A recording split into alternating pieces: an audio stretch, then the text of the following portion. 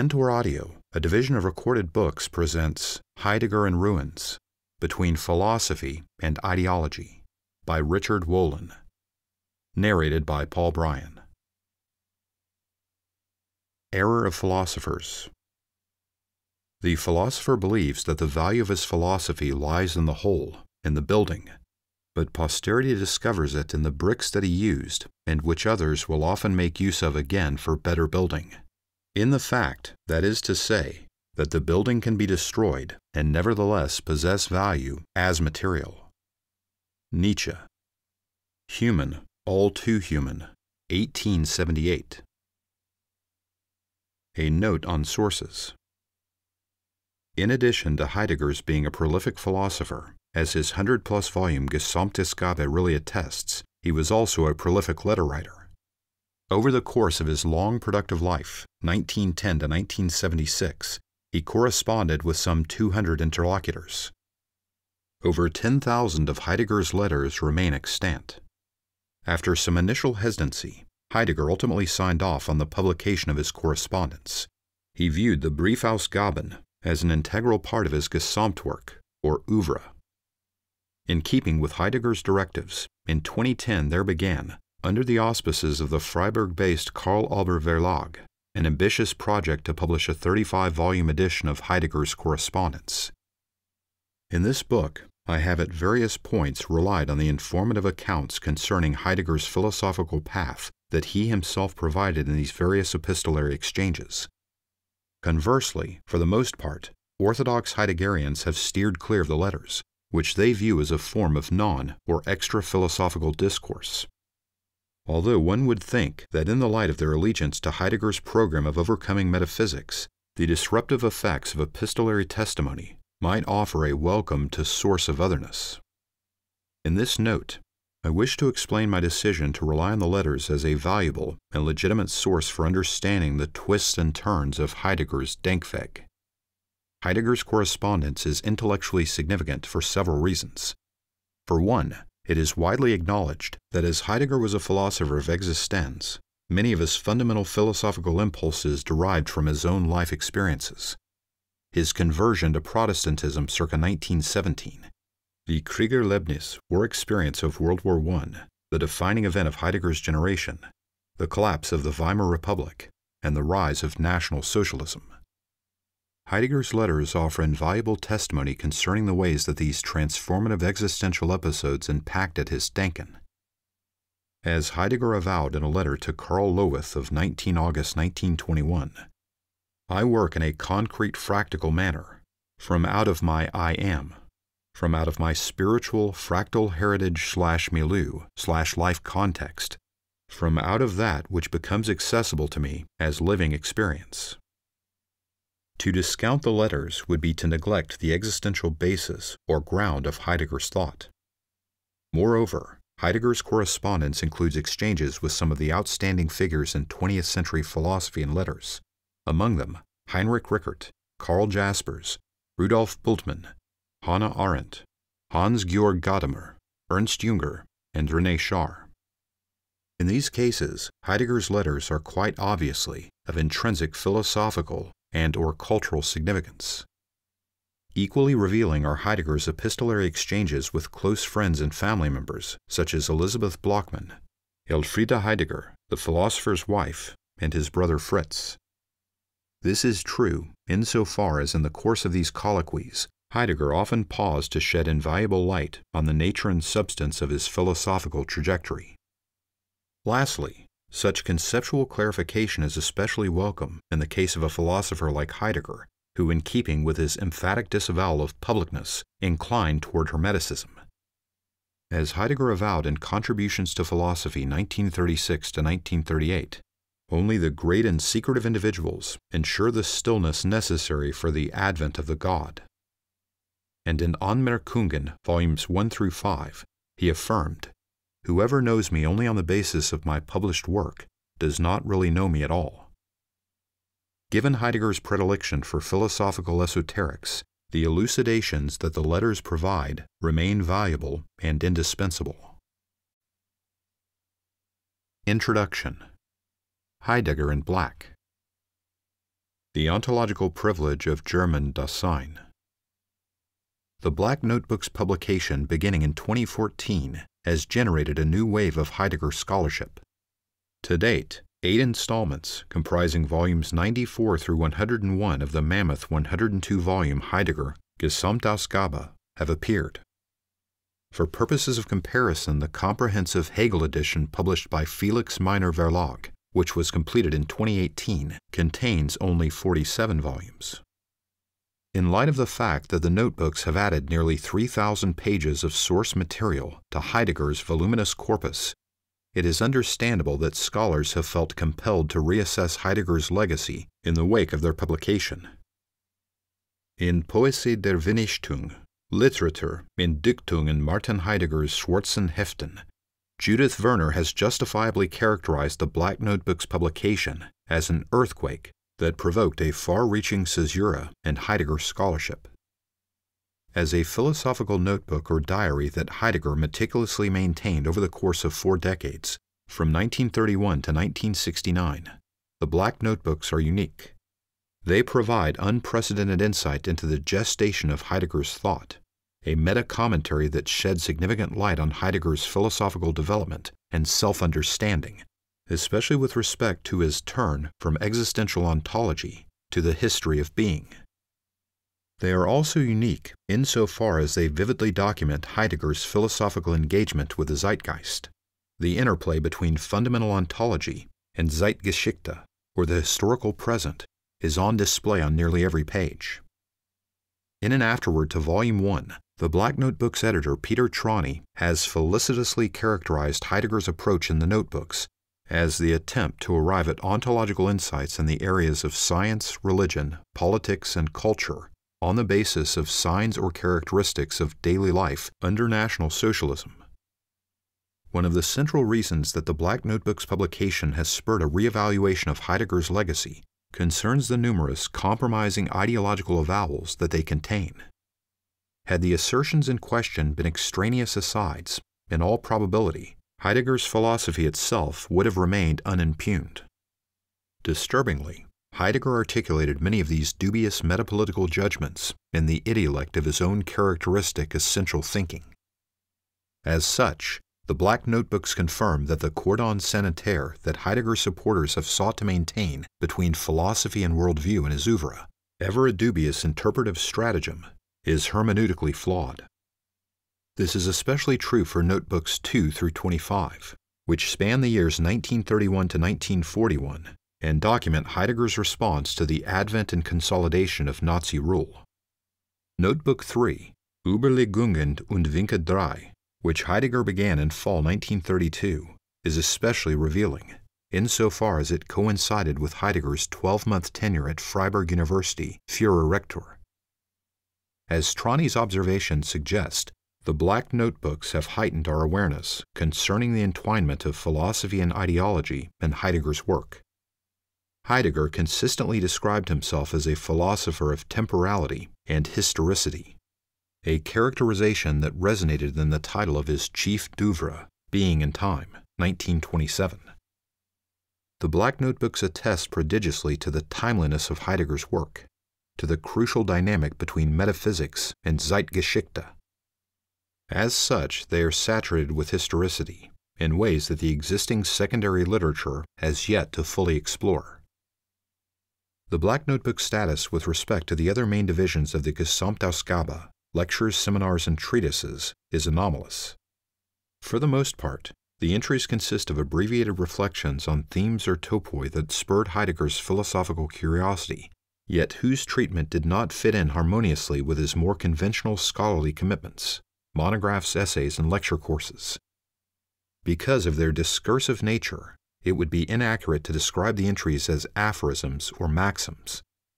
As a rule, their intention is not to jolt or provoke the reader, but instead to tentatively elaborate or stake out positions and views. Heidegger himself described the entries as Versuche, experiments or attempts. Although the aperçus that compose the Black Notebooks may seem disjointed and telegraphic in comparison with Heidegger's more sustained philosophical undertakings, they are not unpolished.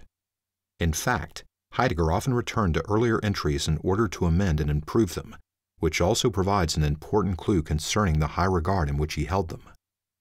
In a text of 1937 to 1938, The Wish and the Will, on preserving what is attempted, in which Heidegger listed his philosophical accomplishments to date, he included the black notebooks on the list. One would be hard pressed to disagree with Peter Trawny and Andrew Mitchell's conclusion that Heidegger considered the black notebooks groupable with the selected best of his philosophical authorship. Another indication of the notebook's importance for Heidegger was that he earmarked them to appear as the final nine volumes of his mammoth collected works edition, and hence as the crowning achievement of his philosophical life's work. This meant postponing their publication until several decades after his death. One of the motivations underlying this decision, it seems, was that Heidegger felt that his contemporaries were too benighted to grasp the clairvoyance of his metapolitical insights. Heidegger was convinced that only a future generation, one that was less small minded and more attuned to the emanations of being, could do them justice. Like Nietzsche, a self described posthumous man, who in The Will to Power claimed that he would narrate the history of the next two centuries, Heidegger in the Black Notebooks also staked a claim to prophecy. In Notebook 12, circa 1939, he forecast that not until the year 2327 would his name finally emerge from Vergessenheit, or oblivion. Serendipitously, 2327 also happened to be the 400 year anniversary of the publication of Being and Time. At another point, Heidegger arbitrarily attributed a numinous power to names beginning with the letter H. He invoked as evidence Heraclitus, Hölderlin, and Hegel but Hitler himself would also seem to belong to the list, as would, of course, Heidegger himself. Whereas in May 1945, many Germans greeted the Allied victory as a liberation from the tyranny of Nazi rule, Heidegger conversely insisted that it was merely another episode in the long history of Seinsvergessenheit, or the forgetting of being. Heidegger held that Nazi Germany's excesses paled in comparison with the criminality of the Allied occupation, which, having unleashed its machinery of death, Tötungsmaschinerie could only culminate in the total annihilation, vollständige Vernichtung, of Germany and the Germans. Heidegger prophesied that a final judgment concerning the predominance of Americanism would take place in the year 2300. In material terms, the Black Notebooks highlight the depth and extent of Heidegger's Germanophilia, his conviction that Deutschtum possessed a salvific historical mission, a calling that elevated it metaphysically above other peoples. Heidegger maintained that the Germans, as a folk, displayed an ontological singularity, a Seinsart that justified his commitment to the ideology of German exceptionalism. On this point, Heidegger could not have been clearer or more insistent, hence his declaration in Überlegungen zwei that only someone who is German, der Deutsche, is capable of poetically articulating being in an originary way an avowal that confirms that Heidegger articulated his commitment to the idea of German superiority in ontological terms. The Black Notebooks reaffirm that Heidegger's understanding of Seinsgeschichte, the history of being, was inherently tied to his metaphysical wager on the redemptive capacities of Deutschtum. Time and again, they demonstrate that Heidegger's ontological turn during the 1930s was integrally bound with an intensification of his commitment to the regenerative attributes of German Dasein and German destiny. Heidegger's ontological historical wager on Germany emerged, unambiguously, in his pans to the attributes of Western Germanic historical Dasein, a crypto theological construct in which German destiny held the key to actualizing another beginning, conceived as a renewal of the Greek beginning. The Black Notebooks demonstrate that Heidegger construed Germanentum as authentic historicity incarnate. It was an ontological status that Germany's geopolitical rivals, England and France, to say nothing of the Untermenschen who inhabited of the Slavic lands to the east, could never possibly match. Whereas Heidegger maintained that the Germans had an ontological historical calling, Auftrag, to fulfill, he viewed Germany's existentially flawed adversaries as carriers of nihilism, hence, as peoples who threatened to undermine Germany's eschatological destiny and mission. Accordingly, Heidegger divided the world into historical and unhistorical peoples. Whereas Heidegger exalted the Germans as the most metaphysical of peoples, he disqualified Germany's geopolitical enemies, Feinde, as devoid of historicity. Thereby, Heidegger summarily consigned them to the purgatory of Seinsvergessenheit, or the oblivion of being. The cosmopolitan spirit was entirely alien to Heidegger's Denkhabitus. How could it be otherwise given his outsized commitment to the ideology of German singularity? Heidegger discounted universal history as a metaphysical abstraction bequeathed by Enlightenment cosmopolitanism. Conversely, he maintained that the essential carriers of history were Völker, or individual peoples. This conviction confirms Heidegger's status as a folkish thinker. Heidegger's fidelity to the ethos of German exceptionalism predisposed him to accept Carl Schmitt's infamous Freund slash Feind, friend slash enemy opposition. In The Concept of the Political, 1927, Schmitt exalted war as the ultima ratio of great politics. As Schmitt remarked, war, the readiness for death of fighting men, the physical annihilation of other men who stand on the side of the enemy, possesses an existential meaning. Following the Nazi seizure of power, Schmitt's friend slash enemy antithesis assumed more tangible and immediate contours in Heidegger's eyes. Hence, in Heidegger's 1934 seminar on Hegel's philosophy of right, he engaged intensively with Schmitt's The Concept of the Political, in agreement with Schmitt's view that it is the assimilated Jew who is the true enemy, wahrer Feind. Heidegger identified German Jews as the inner enemy par excellence, a corrosive presence that threatened to undermine the unity of the Volksgemeinschaft. Accordingly, in On the Essence of Truth, 1933 to 1934, Heidegger expressed his deep seated fear that the inner enemy may graft himself onto the innermost root of a Volk's existence in order to oppose its innermost essence.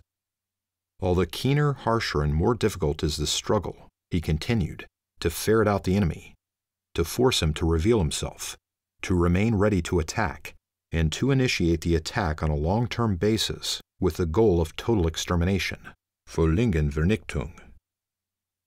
As Heidegger observed in 1942, around the time that the Nazis formulated the Endlösung to the Jewish question, in the era of the Christian West, that is, the era of metaphysics, world Jewry is the principle of destruction.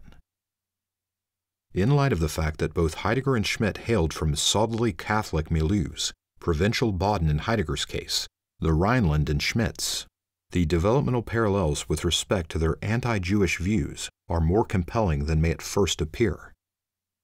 It has been well documented that during the early decades of the 20th century, as racial anti Semitism spiked, traditional religious anti Judaism increasingly accommodated the worldview of its profane doppelganger. Hence, medieval fears about sectarian Jewish practices, well poisoning, blood libel, and ritual murder that threatened to undermine the integrity of Christian communities metamorphosed into modern fears about Jews as carriers of modernity, with all of its attendant disorders, dislocations, and disruptions. For both Heidegger and Schmitt, the traditional religiously based mistrust of Judaism metastasized into a this worldly, profane paranoia concerning the disintegrative influence of the Jewish enemy, a paranoia whose best known incarnation was the Protocols of the Elders of Zion. In response to Karl Jasper's skepticism about the existence of a Jewish world conspiracy, Heidegger demurred, insisting there really is a dangerous international alliance of Jews. In Political Theology 1922, Schmitt argued that all modern political precepts are merely secularized variants of what were originally theological concepts. The same may be said for the momentous transition from traditional anti Judaism to modern anti Semitism. Here, too, there is a dialectic of secularization at work. The idea that the salvation of the modern world is contingent on the elimination of Jewish influence, an idea that was central to the ideology of redemptive anti Semitism, is a manifestation of political theology in a modern setting. As Raphael Gross has shown in Carl Schmitt and the Jews, Schmitt's polemical indictments of parliamentarianism, normativism, universalism, and cosmopolitanism express Schmitt's deep seated fears of post emancipation Jewish domination. Schmitt's anxieties culminated in his overwrought condemnation of Jewish Bodenlosigkeit, rootlessness, in his Grossraum writings of the early 1940s. As Schmitt declaimed, the real misunderstanding of the Jewish folk with respect to everything that concerns soil, Boden, land, and territory is grounded in its style of political existence. A nation's relation to its soil, Boden, determined by its own work of colonization and culture, and by the concrete forms of power that arise from this arrangement, is incomprehensible to the spirit of the Jew. Heidegger's doctrine of Seinsgeschichte assimilated the political theology of redemptive anti Semitism. As the Black Notebooks attest, he held that the reemergence of being in its glory and plenitude would not take place until world Jewry's disintegrative influence was eliminated. The affinities between Heidegger's fundamental ontology and Schmitt's political existentialism also shed light on Heidegger's reformulation of first philosophy as an ontology of violence. Heidegger often stressed that the trajectory of Seinsgeschichte was riven with violence and conflict. He found a valuable philosophical anticipation of this view in Heraclitus's Fragment 53. War is the father of all things, a maxim that Heidegger revered as a normative ontological touchstone. Violence was the midwife of Heideggerian Seinsgeschichte. In the Black Notebooks, Heidegger declared, the path leading from being to thinking hews closely to the edge of annihilation, Vernichtung. And in Contributions to Philosophy, 1936 to 1938, he declaimed, Wherever beings are to be changed by beings, not out of bang, violence is necessary. Every act is one of violence, such that here the violence is mastered by means of power. Heidegger's reformulation of metaphysics in a bellicist and bellicose register emerged in the martial idiom that pervaded the Black Notebooks. Heidegger claimed that the notebook's goal was to stake out advance and rearguard positions in order to facilitate, through conquest, Eroberung, the ends of original questioning. Expressing his contempt for the reigning philosophical orthodoxies, he disdainfully added, Two years of military service is better preparation for the sciences than four semesters of study. The Black Notebooks confirm that Heidegger's vision of the destiny of the West was inextricably wedded to a discourse of German chauvinism. Germany's task as a nation of Dichter und Denker was to re-establish the ontological historical link between the Greek beginning and another beginning. As such, Heidegger's history of being was simultaneously a narrative of redemption, a saga in which German Dasein played a paramount role. According to Heidegger, German destiny was the metaphysical key to overcoming European nihilism, hence to redeeming the West from a condition of twofold abandonment, Verlassenheit, abandonment by the gods, Gottesverlassenheit, and abandonment by being, Seinsverlassenheit. In this connection, an obvious question that arises is what role was left for philosophy to play in Heidegger's narrative? In Trawny's afterword to the Black Notebooks, Volume 1, he provides an extremely troubling, yet wholly plausible response.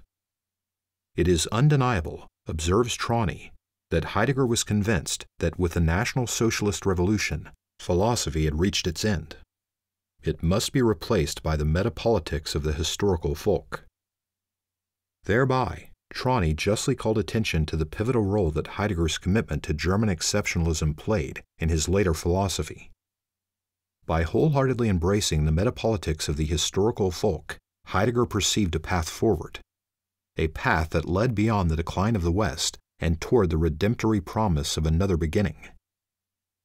By wagering on the metapolitics of the historical folk, Heidegger conceived a meaningful alternative to the impotence and inefficacity of contemporary philosophy, his own existential ontology included. Needless to say, by invoking the metapolitics of historical folk, Heidegger did not mean any Volk whatsoever. He meant the German folk, which, as the Black Notebooks repeatedly reaffirm, Heidegger regarded as the only genuinely historical folk. The end of Heideggerianism? Among the Heideggerian faithful, the Black Notebooks publication has prompted a considerable degree of soul searching and rethinking. numerous Heidegger loyalists felt they had been deceived by Heidegger's literary executors who had systematically purged the philosopher's work of pro Nazi and anti Semitic avowals, a practice that, once these omissions came to light, resulted in a series of embarrassing public controversies that have called into question the Gesamtausgabe's viability. To cite one example of such soul searching and rethinking, in 2015, both the president and the vice president of the International Heidegger Society abruptly resigned from their positions. The philosopher Günter Figal explained in announcing his resignation as Heidegger Society president that Heidegger's numerous professions of anti Semitism, as documented in the Black Notebooks, prevented him from representing Heidegger's philosophy in good conscience. To think in this way, averred Figal, is incompatible with the vocation of philosophy. The Black Notebooks publication motivated Figal to reevaluate the way that Heidegger, following the German defeat in 1945, had deployed his technology critique in order to relativize and downplay the historical specificity of Nazi criminality. As Figal observed, following the end of World War II, Heidegger refused to acknowledge Germany's responsibility for war crimes. Instead of recognizing the Shoah's singularity with the war's termination, Heidegger situated the existence of the extermination camps in an eschatological frame of reference that reduced all historical events to undifferentiated consequences of modern technics. Figal's prognosis concerning the future of Heidegger's studies in the wake of the Black Notebook's appearance was correspondingly bleak. The philosophical future, claimed Figal, portends the end of Heideggerianism. Shortly thereafter, the president of Freiburg University, where Heidegger had taught for four decades, announced the university's plans to decommission the Lehrstuhl, or academic chair, that had been named in Heidegger's honor. Figal's misgivings with respect to Heidegger's betrayal of the vocation of philosophy amounted to a de facto admission that Heidegger's critics had been correct all along. That the affiliations between Heidegger's Denken and the German ideology of the 1920s and 1930s were intrinsic rather than ephemeral and contingent. Otto Pöggeler, arguably Heidegger's foremost German interpreter, had already raised the specter during the 1990s when he inquired was it not through a definite orientation of his thought that Heidegger fell, and not merely accidentally, into the proximity of National Socialism without ever truly emerging from that proximity? Nevertheless, not all of Heidegger's disciples have responded to the Black Notebook's publication with the combination of forthrightness and indignation displayed by Figal. Instead, there have been numerous attempts to rationalize and discount Heidegger's more objectionable transgressions in the interest of restoring Heidegger's studies with the greatest possible speed to the status quo ante. The Italian philosopher and former Heidegger student Giorgio Agamben established a precedent for many of the apologetic discussions of the Black Notebooks in a 2015 interview with the French weekly L'Obs. What took readers aback was not merely Agamben's efforts to trivialize Heidegger's various pro Nazi claims and assertions, but his sympathy for the discourse of European anti Semitism, whose decline Agamben seemed openly to mourn. As Agamben asserted, the polemic surrounding the Black Notebooks rests on an equivocation concerning the usage and meaning of the word anti Semitism. For well known historical reasons, this word designates something that has to do with the persecution and extermination of Jews. But if every assertion that is critical or negatively disposed toward Judaism, even that which is contained in private diary entries, is condemned as anti Semitic, the net effect is to place Judaism outside of language by misrepresenting anti Semitism, a paradigmatic example of race thinking and its attendant persecutions, as statements that are critical or negatively disposed toward Judaism. Agamben deliberately masks the gravity of the issues at stake. Agamben's subterfuge notwithstanding, none of Heidegger's critics has disputed the permissibility or legitimacy of criticizing Judaism. Nor have they sought, as Agamben suggested, to place Judaism outside of language. Instead, they have criticized Heidegger's reliance on race discourse, a habitude and practice that belies the claim that his thinking was constitutionally immune from the temptations of the Rassengedanke. One refrain that has repeatedly punctured the recent wave of Heidegger apologetics is the claim that today we need Heidegger more than ever. Often, such assertions invoke the value of Heidegger's technique critique as a challenge to the shortcomings of Western nihilism, while charitably overlooking the pronounced neo Spenglerian, anti democratic, Zivilisationskritische overtones of Heidegger's perspective. Paradoxically, by elevating the reign of technology to the status of primum movens, or absolute, Heidegger's framework discounted the capacities of democratically minded citizens to contest technology's implacable sway. Already in Being and Time, paragraph 127, Heidegger had devalued publicness, Öffentlichkeit, as a manifestation of inauthenticity, Simpliciter. As expressions of das Man, remarked Heidegger, averageness and leveling characterize the ontological modes of publicness. Frequently, the claim that we need Heidegger more than ever has been coupled with a delusional assertion that the most effective antidote to Heidegger's shortcomings is even more Heidegger. At which point, the discourse of Heidegger adulation accedes to the pinnacle of self caricature. Thus, as the editors of Heidegger's Black Notebooks, responses to anti Semitism confidently assert, should we wish to interrogate the anti Semitism in Heidegger's thinking, the best defense against such a construction is Heideggerian thought itself. They proceed to justify this self serving conclusion as follows Heidegger's anti Semitism is tied to a position operating within an oppositional logic. Hence, it is tied to a metaphysical position. To overcome this anti Semitism, then, will require overcoming metaphysics, but this is precisely what Heidegger has taught us. In other words, if we seek to probe the nature of Heidegger's anti Semitism, there is no need whatsoever to consult sources external to Heidegger's magisterial and sovereign corpus. All the answers we could ever hope to find are contained therein.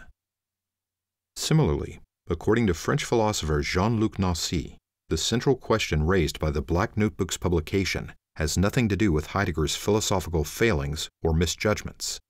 Instead, the main issue at stake concerns the persistence of Heideggerophobia, a prejudice that Nancy asserts, in a profession of obsequious fealty, prevents us from understanding the world as it is. Thereby, Nancy has rewritten the historical record in order to make Heidegger into the victim, someone who has been unfairly targeted by, as Nancy puts it, the guardians of political correctness, les bien-pensants du correct politique. According to Nancy, scholars who critically challenge Heidegger's views are little more than Latter day Inquisitors, emissaries of intolerance. Hence, he dismisses their arguments a priori as expressions of bad faith. Although Nancy readily acknowledges that in the Black Notebooks, Heidegger castigated Judaism as the principle of destruction, like Agamben, he trivializes Heidegger's anti Semitism on the specious grounds that philosophy is not immune from the earthquakes of the times. Nancy's reliance on the metaphorics of natural catastrophe seems calculated to render questions of individual or group culpability null and void. In similar fashion, in post war Germany, the Nazi debacle was often explained away as a Betriebsunfall, an industrial accident. In The Banality of Heidegger 2015, Nancy's contribution to the Black Notebooks debate, his central argument that Heidegger's anti Semitism was banal, hence unworthy of serious scrutiny, is little more than a rhetorical smokescreen contrived to obviate further questioning. Nancy's argumentation, which reverses the relationship between victims and perpetrators to Heidegger's advantage, is a textbook example of Holocaust inversion. Nancy places Heidegger's critics, the purported Heideggerophobes, in the dock. Conversely, he lets the master off the hook by suggesting that further investigation of his case is unwarranted. In Heidegger, the Jews and the Shoah, Donatella di Cesare, pursuing a similar strategy, apotheosized Heidegger, his vicious anti Semitism notwithstanding, qua philosopher of the Shoah. Heidegger, exalted di Cesare, must be credited with having developed those concepts that today make reflection on the Shoah possible. From enframing, Gestell, to technique, from the banality of evil to the fabrication of corpses. Thereby, di Cesare has transformed a thinker who, in many respects, pioneered the art of Holocaust denial. For example, Heidegger's claim in Anmerkungen, volumes 1 through 5, that the Holocaust was a paradigmatic example of Jewish self annihilation, into a progenitor of Holocaust studies. As Pierre Bourdieu aptly remarked, when I hear people say that Heidegger alone makes it possible for us to think the Holocaust, but perhaps I am insufficiently postmodern, I think I must be dreaming. In Heidegger's defense, it should be acknowledged that on various occasions he expressed his misgivings concerning select aspects of Nazi rule. A good example was his critique of vulgar National Socialism in Überlegungen 3, an ideological approach that Heidegger brusquely dismissed as suitable for journalistic scribblers and cultural entrepreneurs. However, upon closer scrutiny, it is apparent that Heidegger's criticisms of really existing National Socialism consistently refrained from challenging the movement as a whole. Instead, Heidegger proposed replacing vulgar National Socialism with what he termed spiritual National Socialism, an understanding of the movement's philosophical essence that was more in line with his own ontological historical approach. In order to distance himself from vulgar anti Semitism, Heidegger adopted the persona or mien of a spiritual anti Semite, ein geistiger Antisemit, a standpoint that Heidegger felt was required in order to combat Germany's escalating Jewish infestation, Verseuchung. On the basis of this remark, it is clear that Heidegger was in no way averse to relying on the biopolitical lexicon of virology when necessary.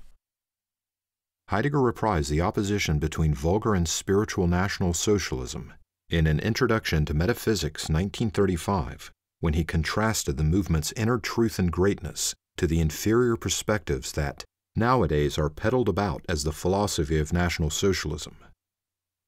Once again, Heidegger refrained from renouncing National Socialism to core. Instead, by distinguishing between authentic National Socialism and Nazis' epigones or vulgarizers, his aim all along was to save National Socialism rather than to disown it. The conclusion one should draw from these ongoing contentious debates over Heidegger's legacy is not, as some commentators have argued, that one should abandon Heidegger's philosophy as irreparably contaminated and hence irredeemable.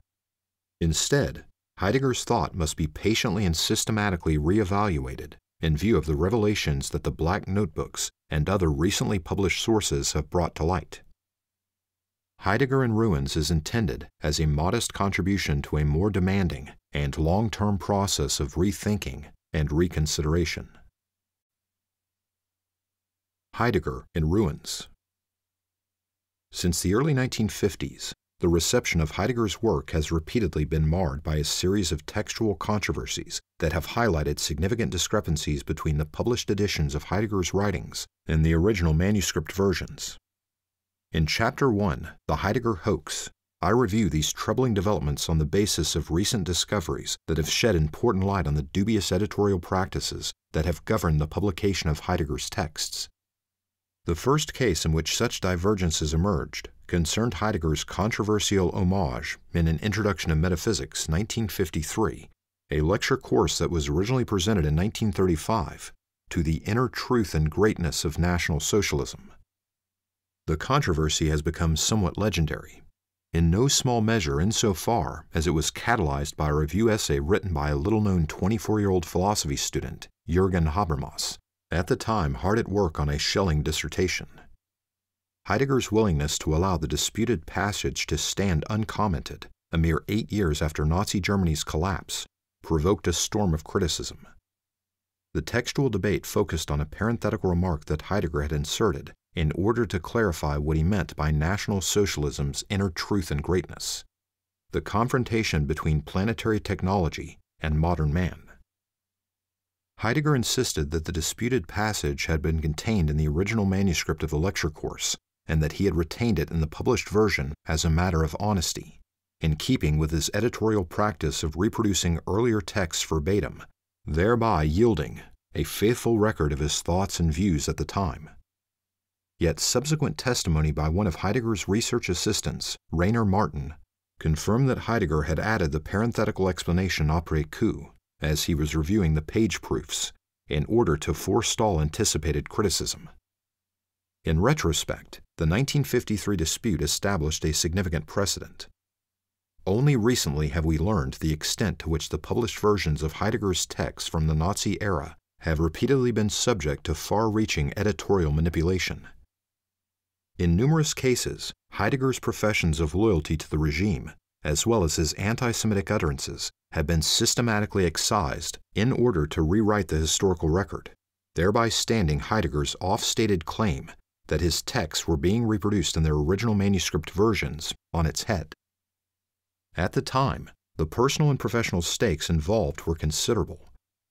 Following Heidegger's classification by the French occupation authorities in 1945 as a typical Nazi, un Nazi typique, his reputation lay in shambles.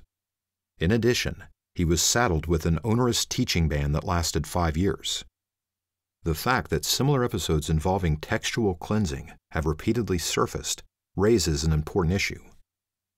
When we read Heidegger's work today, what are we actually reading?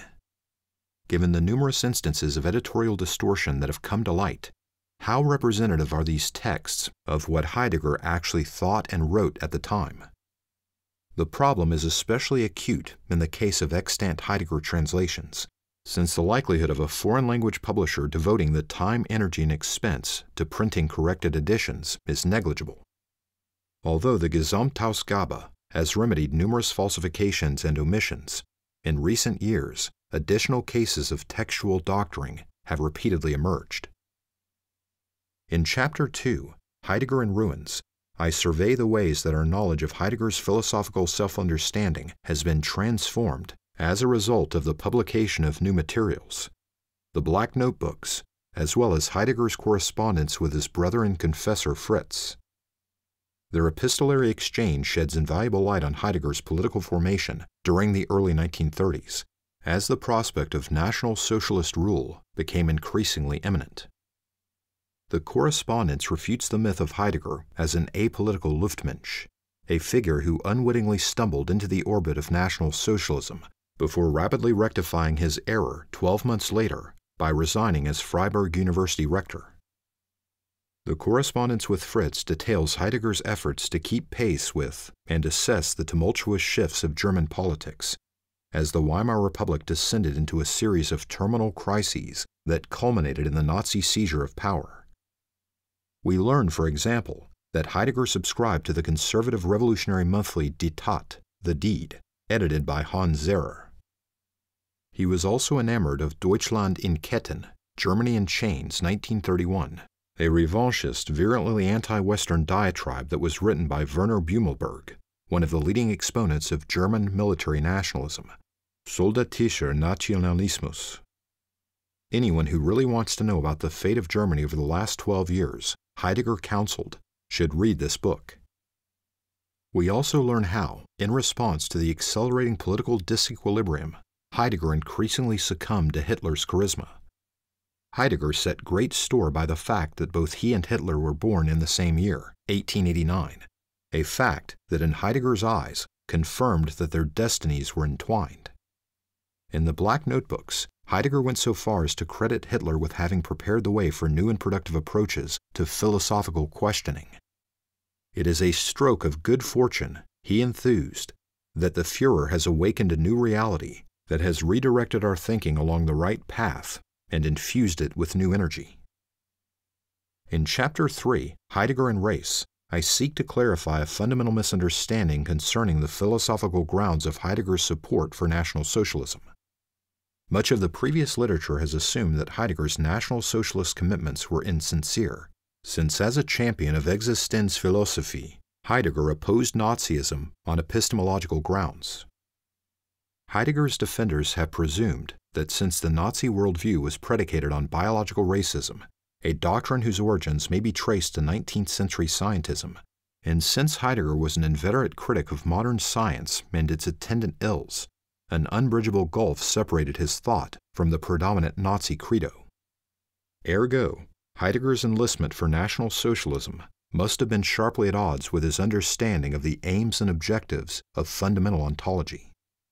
However, careful scrutiny of the basic tenets of Nazi race doctrine indicates that it had very little in common with scientism. Instead, Nazi race thinking was an inherently ideological construct that emerged in polemical opposition to 19th century positivism. As such, it was saturated with mystical and spiritualist elements. The end result was a confused, yet highly potent amalgam of German Romanticism, fin siècle esotericism, Ariosophy, Aryan supremacism, and old-fashioned Machtpolitik. Each of these paradigms was significantly at odds with the empiricist orientation of the natural and social sciences. The idea of Nazi race science was fundamentally a contradictio in objecto. Instead, National Socialist race doctrine was a paradigmatic instance of modern political myth. As myth, it was untethered by the customary empirical and disciplinary constraints of the logic of scientific discovery. Moreover, Heidegger's views on race thinking were far from unilaterally negative, as his champions have alleged. In the Black Notebooks, volumes 2 through 6, for example, he avowed that race is a necessary and mediate condition of historical Dasein. Attentive scrutiny to Heidegger's text suggests there are very few qualitative or essential differences between his defense of spiritual racism and the understanding of race thinking propagated by the likes of Hans Gunther and Ludwig Ferdinand Clauss. In the view of the philosopher and Heidegger's student Karl Loewith, Heidegger was not merely a distinguished representative of the German Revolution. He was so in a manner much more radical than Ernst Krieck or Alfred Rosenberg. As Loewith's remarks suggest, doing justice to Heidegger's case means acknowledging the radical philosophical impulses that subtended his existential enlistment for National Socialism.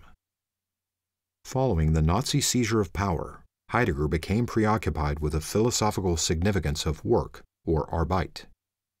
In texts such as Labor Service in the University, The Call to Labor Service, and The German Student as Worker, Heidegger sought to provide Arbeit with a philosophical grounding consistent with the existential ontology he had developed in Being and Time.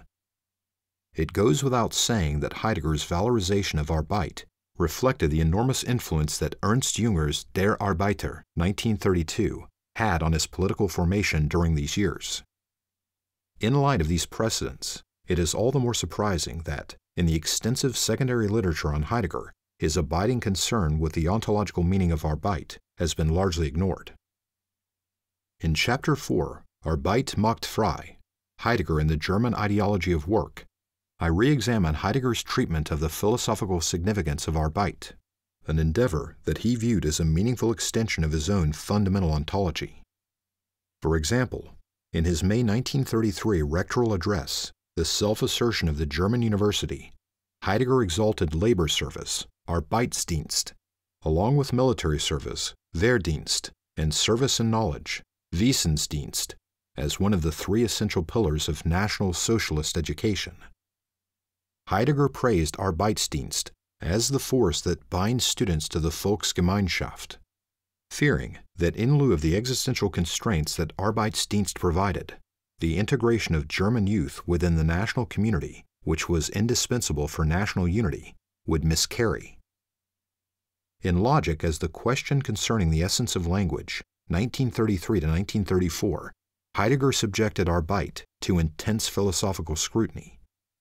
Attention to this text suggests that Heidegger viewed Arbeit as a self-subsistent existential, as an essential component of Dasein's being in the world, one that, as Heidegger suggested, was on a par with well-known existentials such as care, being with others, and decisiveness. Heidegger viewed the National Socialist approach to Arbeit as a manifestation of authenticity, Eigentlichkeit. His meditations and reflections on the philosophical meaning of Arbeit complement Being and Time's groundbreaking treatment of tools and equipment as modalities of Zuhandenheit, or being ready to hand. In Chapter 5, Earth and Soil, Heidegger and the National Socialist Politics of Space, I re examine the systematic role that the notion of existential rootedness played in Heidegger's philosophy. Heidegger's deep seated conviction that there can be no essential work of spirit without primordial rootedness in soil, Ursprunglichen Bodenständigkeit, a profession that he repeated on several occasions, links his thought with the doctrines of the German geopolitical school, a guild that included influential scholar ideologues such as Friedrich Ratzel, Karl Haushofer, and Carl Schmitt. In the Black Notebooks, the ideology of rootedness, Versetzung, figured prominently in Heidegger's critique of world Jewry, a human type, according to Heidegger, whose world historical goal is the uprooting of all beings from being, die Entwurzelung alles Seienden aus dem Sein. The foregoing quotation makes clear that in Heidegger's view, world Jewry's primary defect was not merely racial, it was more seriously ontological. Hence, in Heidegger's eyes, world Jewry's corrosive influence jeopardized the ontological historical project of another beginning. Heidegger consistently praised Bodenständigkeit, or rootedness in soil, as a hallmark of authenticity. He maintained that ontologically rootless truth claims, truths that were bodenlos, were truths of a lesser order. In essence, they were pseudo truths. As an indispensable touchstone of value and meaning, Bodenständigkeit constituted the basis or ground of Heidegger's existential critique of Descartes and the philosophy of the subject. Accordingly, in Being and Time, paragraph 77, Heidegger argued that modern philosophy's shortcomings stemmed from its dearth of ontological rootedness. In support of this claim, he cited Graf Yorck von Wartenberg's declaration Modern man, that is, man since the Renaissance, is fit to be interred. Here, one might well inquire what does it mean to inter one's philosophical adversaries? Heidegger viewed Bodenständigkeit as an essential constituent of Geschichtlichkeit, or authentic historicity. In this guise, it played a key role in Heidegger's support for the ideology of German exceptionalism. In Heidegger's eyes, Germany's ontological superiority was predicated on the German folk's singular capacity for rootedness in soil. Heidegger revisited the topos of ontological rootedness in Nature, History, and State, 1933 to 1934. There, he explored its significance for National Socialist foreign policy, or Außenpolitik, above all with respect to the Third Reich's quest for Lebensraum, its push to the east. In Nature, History, and State, Heidegger emerged as an enthusiastic champion of Raumpolitik, the National Socialist politics of space. Relying on social Darwinist arguments, the geopolitical school exalted so called large space nations, Großraumvölker, as racially superior carriers of culture, Kulturträger. On these grounds, they sanctioned the prerogative or right of large space nations to subsume small space nations, Kleinraumvölker. Heidegger's support for the discourse of Bodenständigkeit underwent a process of what one might call, following the lead of the distinguished historian Hans Mommsen, cumulative radicalization. It advanced from a rhetorical condemnation of rootless peoples to the embrace of the Third Reich's racist and genocidal Bevölkerungspolitik, population policies. In recent years, Heidegger's philosophy is featured prominently in the discourse of European and American New Right circles. Increasingly, a renascent and self confident New Right, Nouvelle Droite, Neue Rechte, has relied on Heideggerian precepts to justify its program of authoritarian ethno-populism. In Chapter 6, From Beyond the Grave, Heidegger and the New Right, I review the impact that Heidegger's philosophy has had among the leading representatives of the transnational New Right. As one might anticipate, Heidegger's influence has been especially keen among proponents of the German and Austrian Neue Rechte.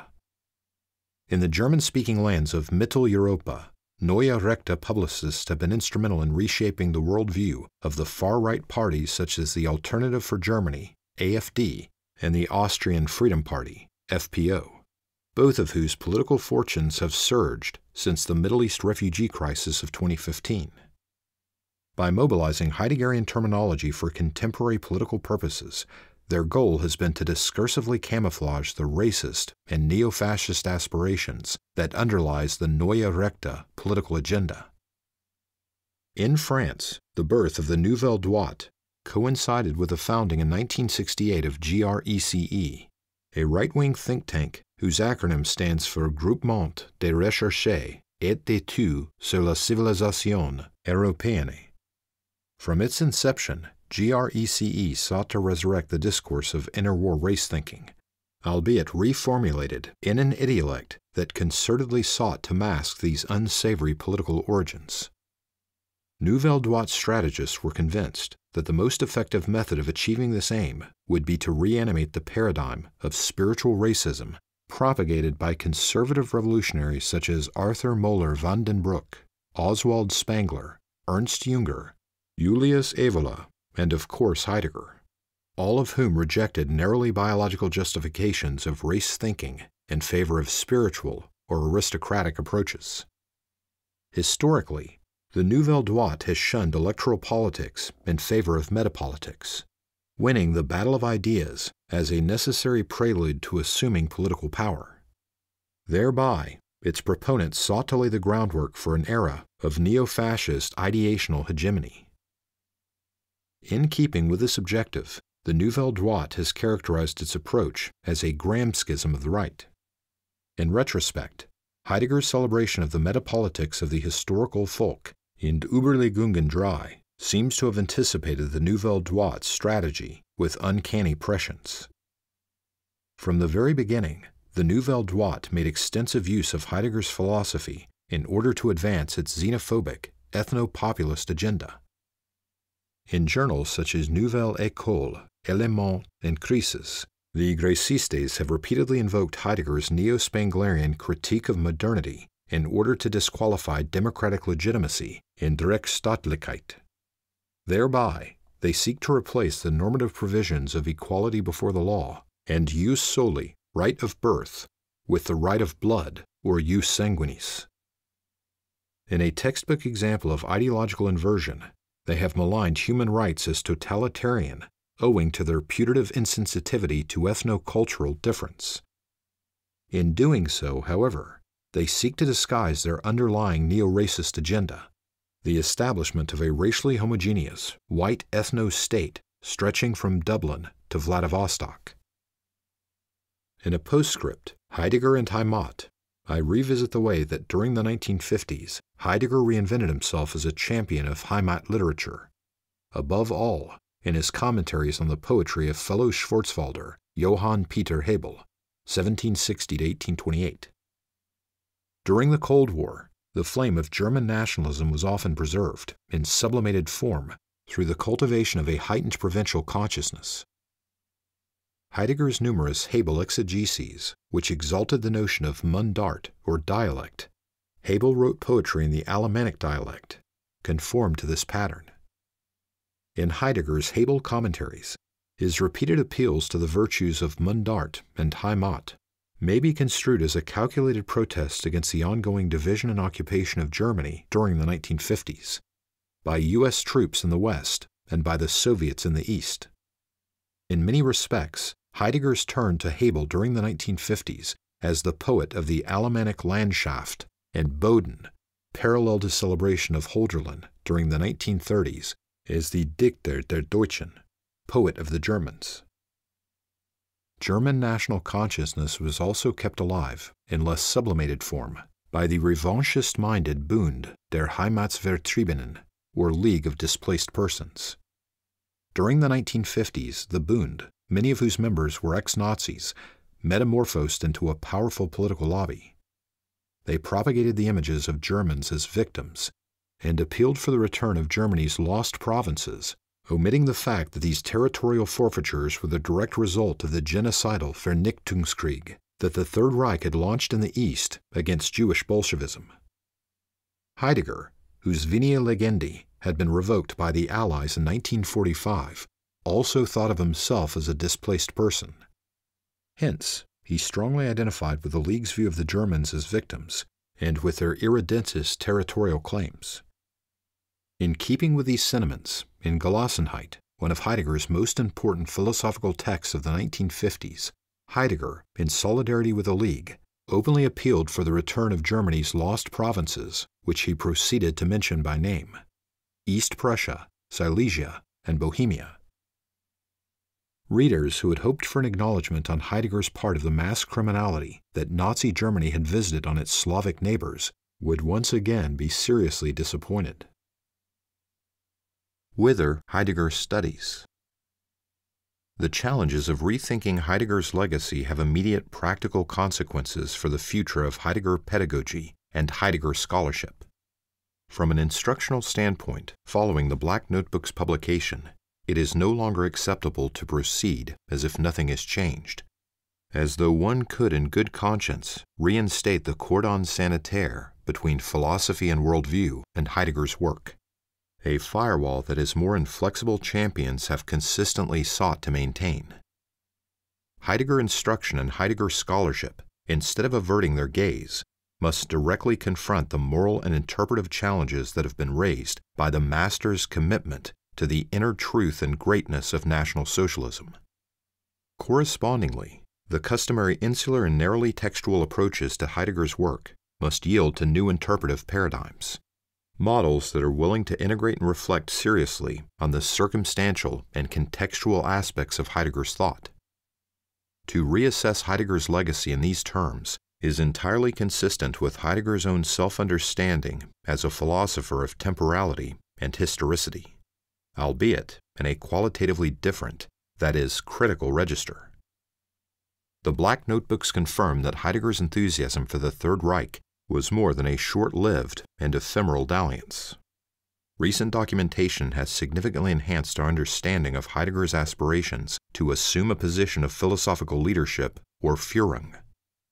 Heidegger was convinced that he alone could provide the metaphysical substance and direction that was required for the movement to fulfill its appointed ontological historical destiny.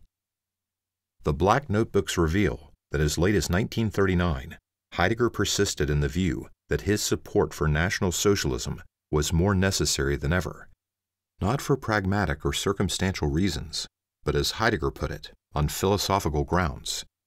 That is, for reasons that were based on the salvific mission that Heideggerian Seinsgeschichte had imputed to the German folk as the most metaphysical folk. In formulating the arguments and criticisms that follow, I have been acutely conscious of the mistrust and ill will they are likely to arouse among Heidegger's more dogmatic supporters. Be that as it may, there is one potential objection that I would like, if possible, to counter in advance. The allegation that my reconstruction of Heidegger's Denkweg contains nothing new, that we have seen it all before. Judging by past experience, such accusations tend to be little more than a pretext for refusing to engage with perspectives and positions that challenge the pieties and idee fixes of Heideggerian orthodoxy. This orthodoxy extols Heidegger's legacy for having transcended the shortcomings and debilities of Western metaphysics. In truth, a caricatural and simplified image thereof. For the most part, however, Heidegger's more rigid partisans failed to acknowledge that in his efforts to overcome the depredations of metaphysics, Heidegger frequently regressed behind the normative attainments of philosophical inquiry. As the philosopher Emil Angehrn has observed, in Ursprungsdenken and Modernitätskritik, given the premises of Heidegger's philosophy, it is an open question how far he is genuinely capable of critical thinking. As Ernst Tugendhat has emphatically suggested, the epistemological premises of Heidegger's thought make it impossible to raise questions of the truth and falseness of propositions. On these grounds, he has linked Heidegger's political errors directly to his philosophical deficits. In the case of an originary thinker like Heidegger, it is not really his susceptibility to ideological currents that is at issue. At stake is whether his thinking inherently produces ideological results. Profound skepticism concerning Heidegger's purported overcoming of metaphysics is warranted by the manifest contempt in which he held inherited standards of validity, argumentation, evidence, and communication. As Heidegger avowed in Logic, The Question of Truth, 1925, at bottom, this magic word validity is a tangle of confusion, perplexity, and dogmatism. The philosophical component of Heidegger in Ruins maintains that in his efforts to transcend the confusions and perplexities of our inherited understanding of validity, Heidegger consigned philosophy to a new series of confusions, perplexities, and dogmatisms. A caveat and disclaimer. I conclude this introduction with an important caveat concerning the aims of the present study, a disclaimer meant to obviate potential misunderstandings. In the words that follow, I do not argue that Heidegger was a Nazi philosopher and that on these grounds his work should be condemned and dismissed. On the contrary, Heidegger's reformulation of transcendental phenomenology opened up significant new pathways and possibilities. By decentering the transcendental subject, Heidegger revolutionized the meaning of intentionality. As such, being in time, as has been widely acknowledged, initiated a crucial paradigm shift away from the narrow concerns of epistemology and cognition and toward the phenomenology of everydayness and being in the world. Heidegger reconceived transcendental phenomenology as existential phenomenology. In the wake of his reformulation of the phenomenological project, moods, curiosity, ambiguity, idle talk, solicitude, falling, and inauthenticity became legitimate and propitious philosophical topoi. Heidegger's reformulation of transcendental phenomenology inspired Emmanuel Levinas to justly praise being and time as a sovereign exercise of phenomenology. With Heidegger's Dasein and Daseinanalyse, observed Levinas, one does not reach nothingness through a series of theoretical steps, but in anxiety, angst. Thereafter, existence itself was animated by the primordial, ontological meaning of nothingness. Levinas's account helps us to understand why the war youth generation, Kriegsjugendgeneration, disillusioned with the philosophical commonplaces of the pre war era and confronting a crisis of meaninglessness, viewed Heidegger's Existenzphilosophie as akin to a revelation. A philosophical idiolect that interpreted angst, the Abgrund, abyss, and das Nichts, nothingness, as occasions for the summons to authenticity, Eigentlichkeit, an authenticity that is, in each case, mine, jemeinig, satisfied what Theodor Adorno and negative dialectics described as a deep seated generational ontological need. Günther Anders's appraisal of Heidegger's legacy echoed Levinas's verdict concerning the transformative nature of Heidegger's existential démarche. Anders paid tribute to Heidegger's singularity, as exemplified by his being drawn to philosophizing not by academic problems, but by the most elementary philosophical terrors. According to Anders, what was unprecedented about Heidegger's approach was its ability to discern the structure of intentionality in the whole of pre theoretical life, in the making of things, interacting with them, using them. By expanding Husserlian intentionality, he was describing the way one is in the world, not exclusively as a task of consciousness, but in all those acts of everyday life that are usually unsuited for philosophical study. Nevertheless, Heidegger's understanding of authentic Dasein, his Lutheran existential reconceptualization of Aristotelian phronesis, culminated in the forlornness of being toward death.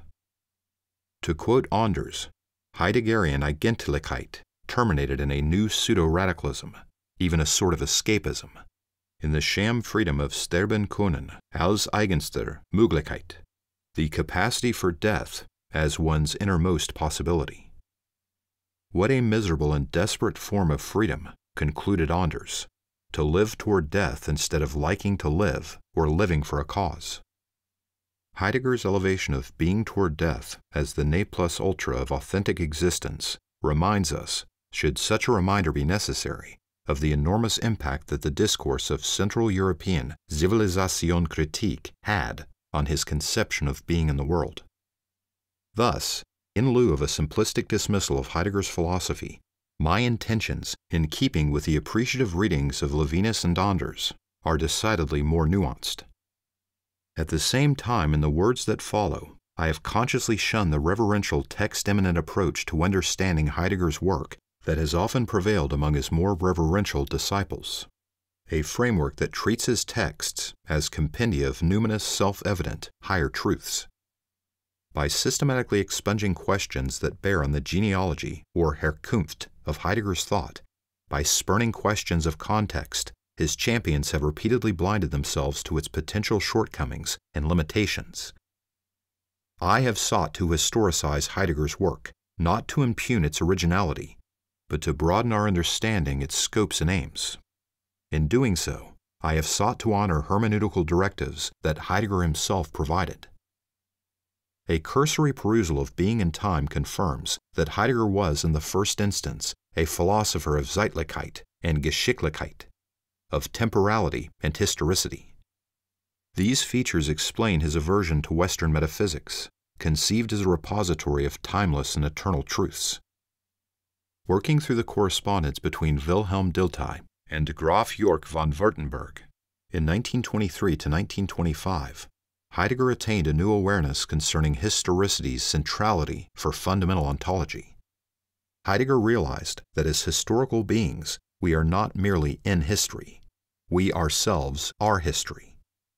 However, in the numerous commentaries on the theme of Heidegger and practical philosophy, rarely has the crucial nexus between historicity and authenticity been adequately treated. This oversight is hardly fortuitous, since in Being and Time, it is Heidegger's articulation of historicity that reveals his profound indebtedness to the zeitgeist of the interwar period. Hence, the indelible ideological biases of his framework. Path-breaking studies by Christian von Krockow, Johannes Fritsche, Charles Bambach, Daniel Morat, and Florian Grosser have convincingly shown that Heidegger's existential ontology is shot through with the idiolect of the conservative revolution.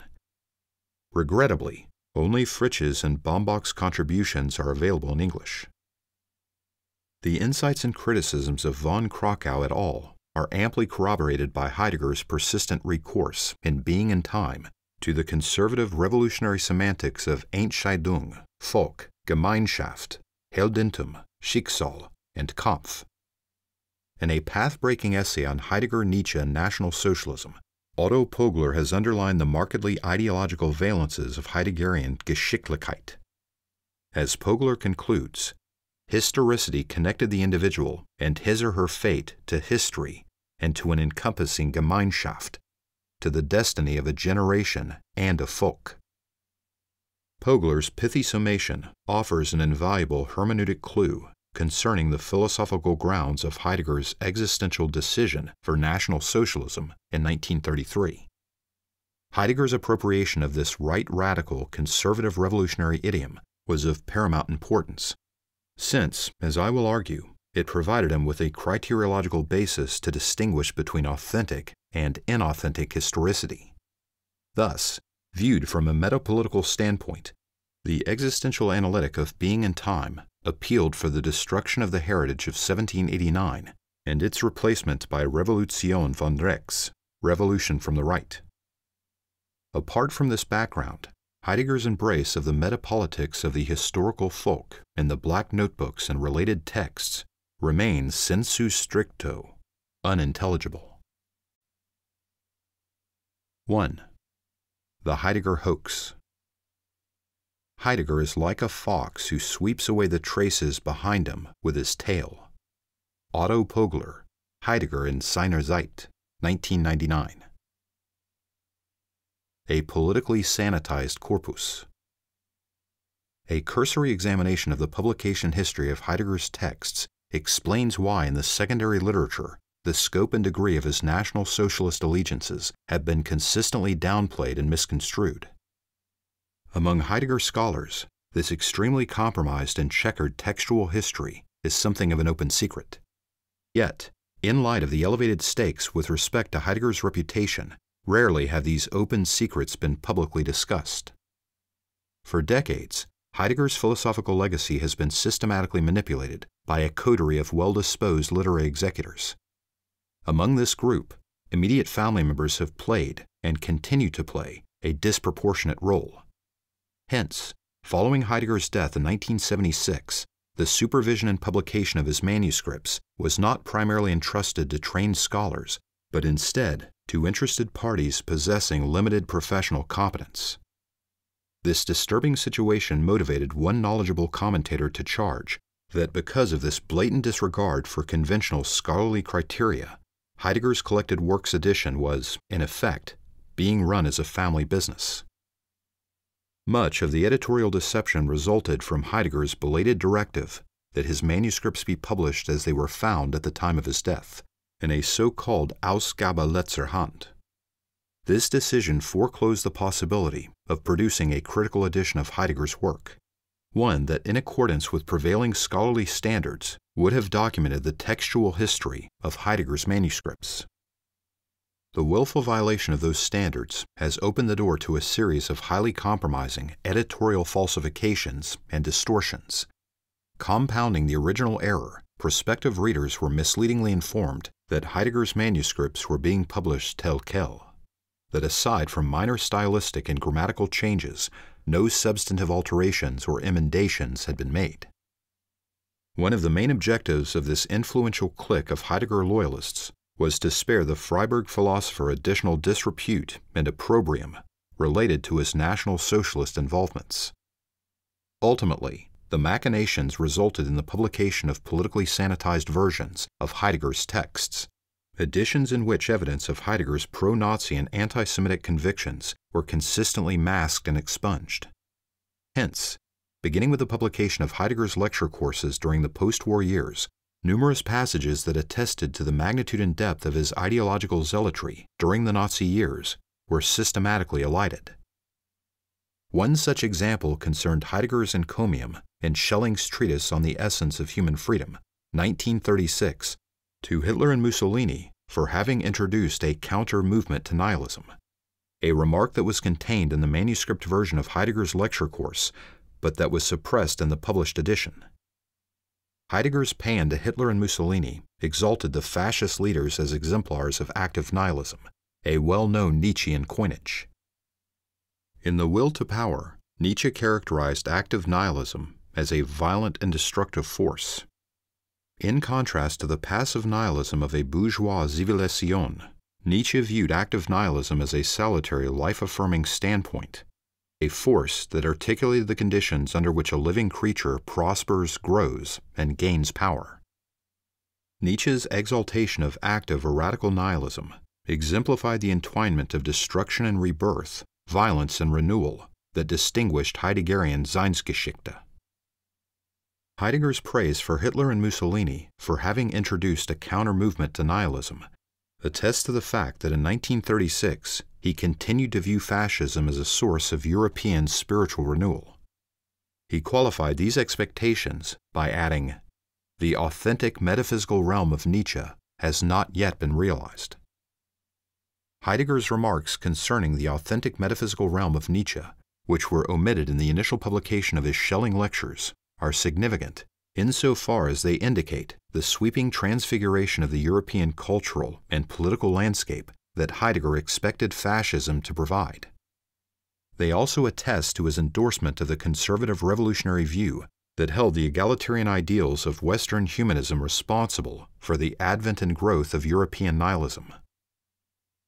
Heidegger, conversely, wagered on political formations that were predicated on violence, hierarchy, and race as the optimal hope for European spiritual renewal. Heidegger's effusive praise of Hitler and Mussolini for having introduced a countermovement to nihilism, deliberately omitted from the published version of his Schelling lectures, raises a pivotal question about the reception history of his work.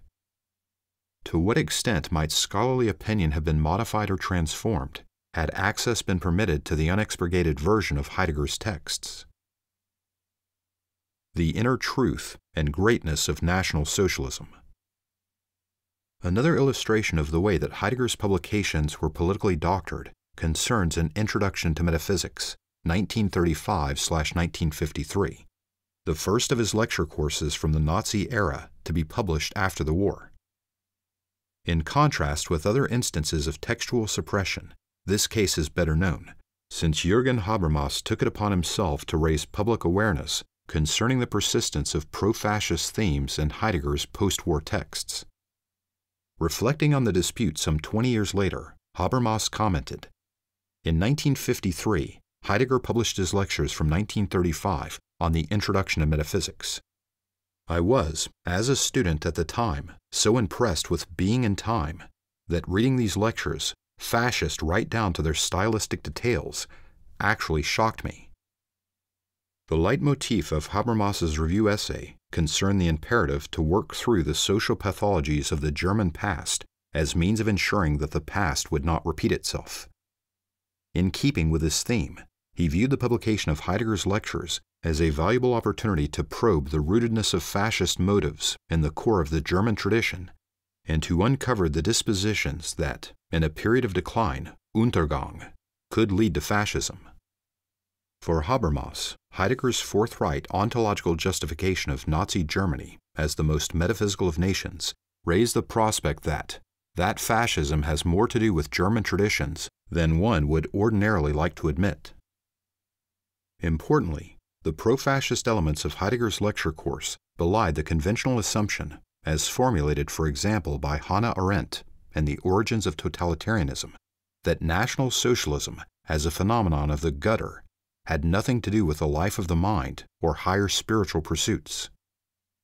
Habermas took particular exception to Heidegger's encomium to the inner truth and greatness of National Socialism, which eight years after the German collapse of 1945 he had retained in the text, uncommented, thereby implying that it was a standpoint he continued to support. Philosophically, Habermas objected to Heidegger's ontological fatalism, his attempt to vindicate National Socialism as an Ereignis, event, that had been mysteriously decreed by being, independent of human volition. He regarded Heidegger's ontological historical account of Nazism as a case of historical conceptual subterfuge, a framework that instead of shedding light on Nazism's political excesses, merely explained away those excesses. Heidegger's reliance on the history of being as an explanatory trope proved doubly problematic, since it rendered questions of moral and historical responsibility superfluous. Habermas distilled the gist of his critique in the following passage Can the planned murder of millions of human beings, which we all know about today, be made understandable in terms of the history of being as a fateful going astray. Is this murder not the actual crime of those who, with full accountability, committed it? Have we not had eight years since then to take the risk of confronting what was and what we were? Is it not the foremost duty of thoughtful people to clarify the accountable deeds of the past and keep the knowledge of them awake? At the time, Habermas was unaware that Heidegger's parenthetical remarks concerning the confrontation between planetary technology and modern man, comments Heidegger appended in order to clarify what he meant by National Socialism's inner truth and greatness, had been added after the fact. In other words, although Heidegger had tried to pass off the published text as a faithful reproduction of the manuscript version, it had been editorially retouched. As Otto Pöggeler disclosed some 20 years later in Heidegger's Path of Thought, 1983, while preparing the text for publication, Heidegger had substituted this movement, Diese Bewegung, for National Socialism in the hope of preempting further controversy. According to Pöggeler, in 1953, Heidegger had obviously wanted to avoid the term National Socialism, whose historically unambiguous nature was clear after 1935. In Pöggeler's discussion of the episode, he faulted the editors of the Gesamtausgabe edition of An Introduction to Metaphysics for allowing Heidegger's unacknowledged editorial tampering to stand, thereby perpetuating the masquerade that had begun with the publication of the Max Niemeyer edition in 1953. Pöggeler's critique was directed at the editor of the Gesamtausgabe volume, Petra Jaeger, who had merely compounded the original subterfuge by insisting on an author's indisputable right in the case of a lecture manuscript to make improvements and clarifications. Admittedly, few persons would dispute that right. By the same token, few scholars would countenance an author's right to misrepresent improvements and clarifications inserted 18 years after the fact as being contained in the original manuscript especially insofar as the alterations in question serve to mask or distort the author's disturbing political loyalties. Pöggeler called attention to an additional falsification that marred the Gesamtausgabe version of an Introduction to Metaphysics the inclusion of a letter that Heidegger had written in 1968 to an Israeli scholar, in which Heidegger misrepresented his controversial endorsement of National Socialism's inner truth and greatness as a concession to Nazi security personnel, who, he alleged, were monitoring his lectures. Heidegger reiterated this claim in the Der Spiegel interview, Only a God Can Save Us, asserting, My lectures were constantly under surveillance. Obviously, if the Sicherheitsdienst, or State Intelligence Services, were scrutinizing Heidegger courses, the regime must have regarded him as a potentially dangerous adversary. Heidegger concluded his letter to the Israeli professor by claiming that those who knew how to listen could readily discern that his words were those of a political critic and dissident. In Heidegger's path of thought, Pöggeler, a Heidegger intimate whose loyalties to his mentor are above suspicion, pointedly disputed Heidegger's claim that his avowal concerning the inner truth and greatness of National Socialism had been insincere, lip service that was intended to placate the non existent Nazi security apparatus. According to Pöggeler, the disputed statement of 1935 appears to be no crumb for informers, but rather the expression of Heidegger's innermost conviction. Already in 1945, shortly after the German collapse, Karl Jaspers had summarily and definitively set the record straight in the appraisal of Heidegger's case that he submitted to the University Denazification Commission. Heidegger, Alfred Bäumler, and Carl Schmitt were the professors who attempted to reach a position of intellectual leadership under National Socialism. At this point, another contradiction emerged to undermine Heidegger's ex post facto apologetics.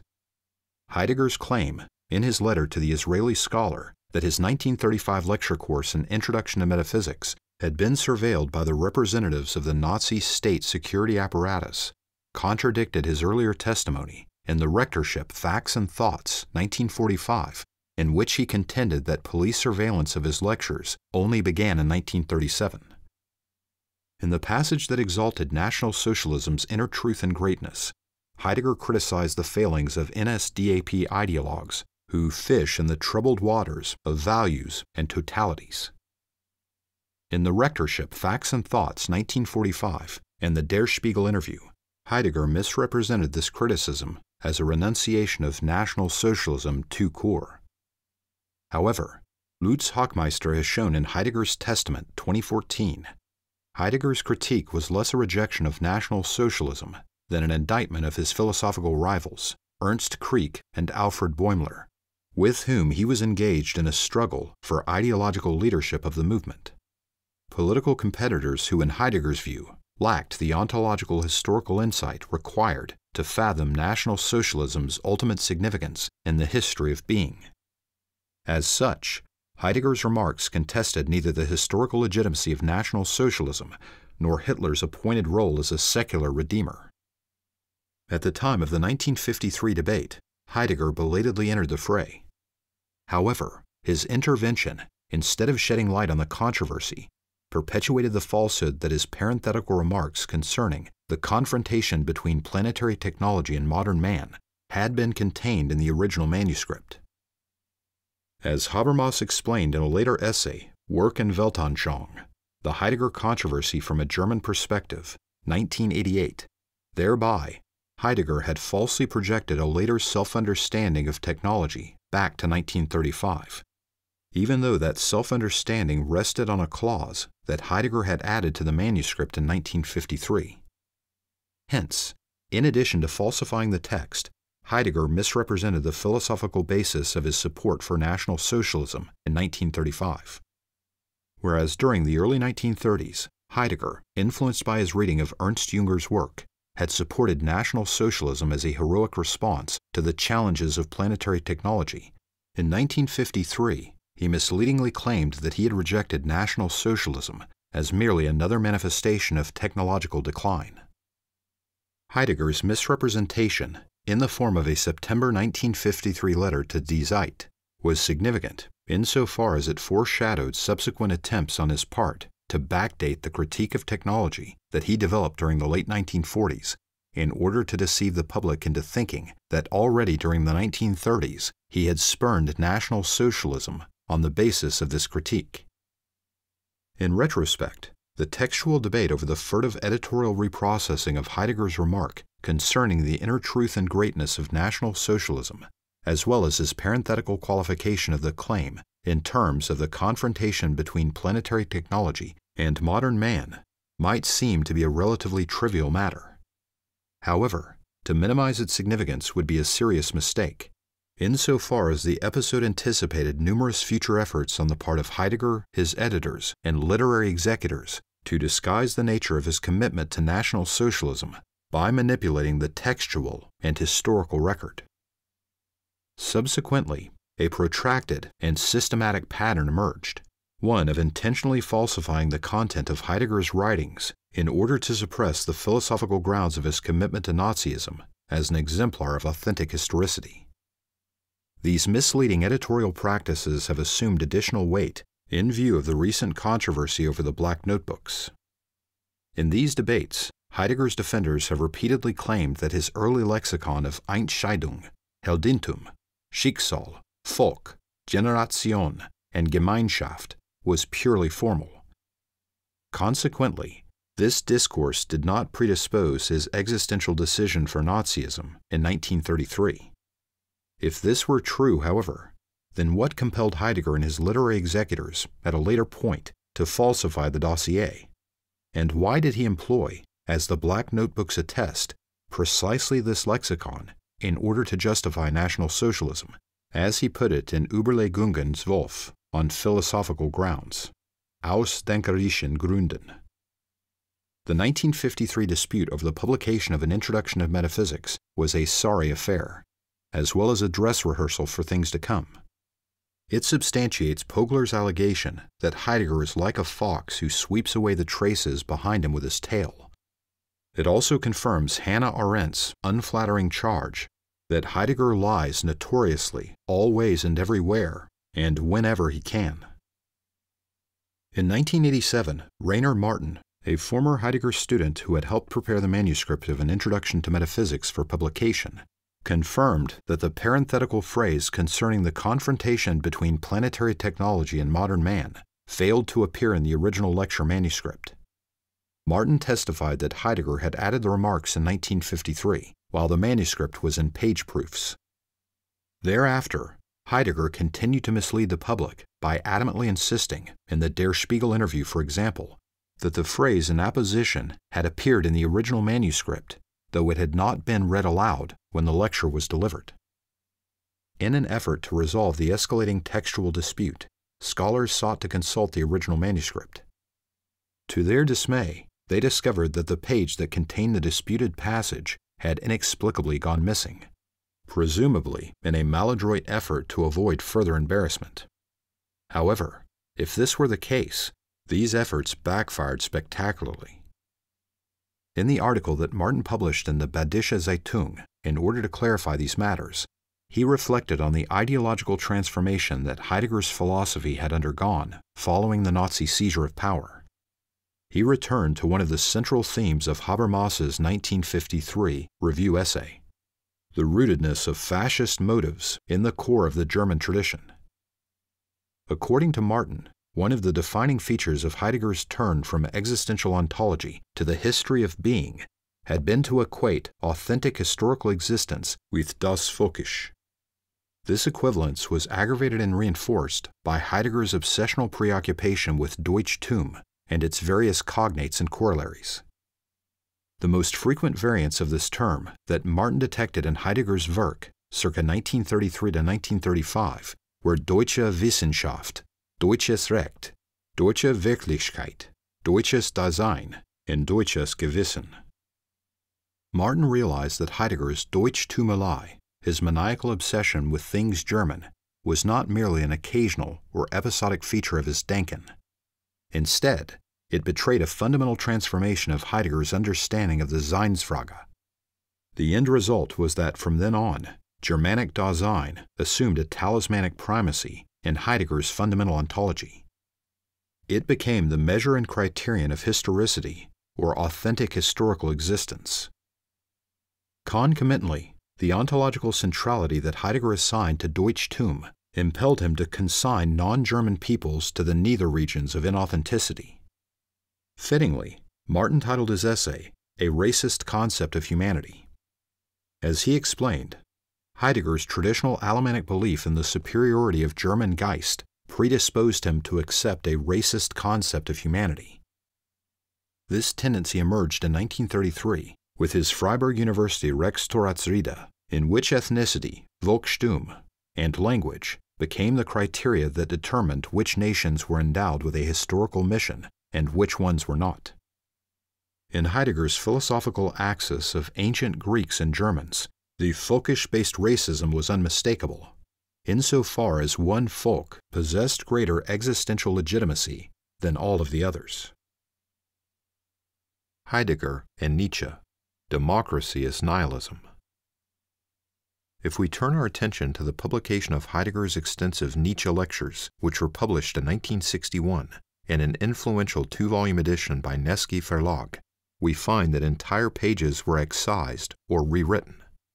Nevertheless, the far reaching nature of these emendations and omissions was never publicly acknowledged. To this day, Anglo American readers who consult the standard English language translation, which was published by Harper and Row in four volumes between 1981 and 1984, would remain ignorant of the fact that the lectures had been substantially doctored. In making these alterations, one of Heidegger's central aims was to mask the nature and extent of his anti democratic convictions, an ideological disposition that conditioned his hostility toward the Weimar Republic and predisposed him in 1933 to support the Nazi seizure of power. Another motivation on Heidegger's part was to forestall, in light of the 1953 debacle, yet another public controversy over his commitment to National Socialism. Heidegger's scorn for democracy was deep seated and pervasive. According to H. W. Petzet, Heidegger embraced Jakob Burckhardt's view that democracy had been responsible for the downfall of the ancient polis. After the war, Heidegger lamented the democratized disintegration, Demokratieter Verfall, of contemporary institutions, a critique that was widespread among arch conservative champions of philosophical anthropology, such as Arnold Gehlen and Hans Freyer. During the 1930s, Freyer and Heidegger were members of the Ausschuss für Rechtsphilosophie, a subcommittee of the Academy of German Law that was chaired by the future Nuremberg war criminal Hans Frank. In What is Called Thinking, 1954, Heidegger praised Nietzsche's denigration of democracy as a form of decline, Verfall's form of the state, as a slack form of political rule that, according to Nietzsche, lacked will, instinct, and authority, which are anti liberal to the point of malice. Even after the Second World War's whirl of carnage and destruction, Heidegger insisted there were no essential differences between communism, fascism, or world democracy. In his view, all three forms of political rule merely express the universal domination of the will to power. Heidegger's antipathy to democracy was philosophically overdetermined. As I have already pointed out, in an introduction to metaphysics, he asserted Truth is not for every man, but only for the strong. Heidegger's standpoint discounted the possibility that truth might emerge from the sensus communis, an open exchange of opinions and views in the public sphere. This conclusion followed logically from his understanding of language as an emanation of being, as opposed to human institution or construction. Moreover, if one scrutinizes Heidegger's critique of average, everyday being in the world and Das Man and Being in Time, one readily discerns the familiar refrains of the reactionary modernist, anti democratic critique of mass society. In a section that he omitted from the first edition of the Nietzsche Lectures, Heidegger lamented that Europe always seeks to cling to democracy, failing to recognize that the latter will be its historical death. He continued by lauding Nietzsche's realization a view to which Heidegger himself subscribed, that democracy is nothing but an expression of nihilism, the devaluation of the highest values to the point where they have become no more than simple values. In other words, they have ceased to be constructive forces. Hence, the ascendancy of the rabble, the social mishmash, equal men, the phrase God is dead, is the formulation for the fundamental experience of an Ereignis of Western history. I took up this phrase in full awareness in my 1933 rector's address. That Heidegger made a point of emphasizing the thematic continuity between his Nietzsche lectures and the pro Nazi sentiments that were expressed in his 1933 Rektoratsrede suggests that in the intervening years his worldview remained essentially unchanged. World Jewry's predilection for planetary criminality. Many of the expunged passages have been restored in Heidegger's 102 volume Gesamtausgabe. Nevertheless, it has recently come to light that it too is beset with errors, omissions, and distortions. In 2014, Black Notebook's editor Peter Trawny revealed that during the late 1990s, while preparing Heidegger's 1939 lectures, Die Geschichte des Seins, The History of Being for publication, he had been pressured by Heidegger's literary executors Friedrich von Herrmann and Hermann Heidegger, the philosopher's son, to excise Heidegger's shockingly anti Semitic assertion that it would be worthwhile inquiring into world Jewry's, Judentum's, predisposition toward planetary criminality. One would urgently like to know on what editorial grounds Trawny consented to this elision, as well as why he waited 16 years before finally revealing the truth. Heidegger's allegation concerning world Jewry's inclination toward planetary criminality, far from being a trifle, constitutes an avowal of exterminationist anti Semitism. It posits that all Jews are guilty by virtue of having been born as Jews. It inculpates Jews not because of their actions or deeds, but purely and simply because of their racial character as Jews. As such, it belies the misleading claim frequently advanced by Heidegger's die-hard defenders, that Heidegger rejected race thinking as a matter of principle. Heidegger expressed these remarks in his lecture course, hence publicly, shortly after Hitler's notorious 30 January 1939 Reichstag speech, in which he declared, If the international Jewish financiers, in and outside Europe, should succeed in plunging the nations once more into a world war, then the result will not be the Bolshevization of the earth, and thus the victory of Jewry, but the annihilation of the Jewish race in Europe. When viewed in this light, Heidegger's comments seem to represent a profession of solidarity with Hitler's views. National Socialism versus Natural Science. In 2015, the German news weekly Die Zeit revealed a striking transcription error afflicting Heidegger's 1934 to 1935 lecture course Hölderlin's hymns, Germanien, and Der Rhein. Heidegger's lectures on Hölderlin are suffused with paeans to the virtues of Führertum and Kampf.